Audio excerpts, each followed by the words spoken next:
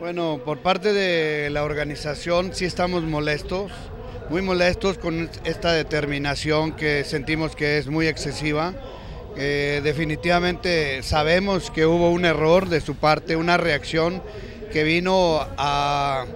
por una actitud prepotente de, del umpire un umpire que, que, se supone que son los umpires de más experiencia en la liga, son los umpires que deben de tener más criterio. Estamos muy molestos, hemos apelado ante la liga y pues sentimos que además de todo eh, es muy aparatoso en los medios de comunicación, en las fotografías se ven muy aparatosas. La gente que vimos el juego por televisión nos damos cuenta que fue en fracción de segundos la situación, el problema es parte de Sultanes, entonces pues, tendríamos que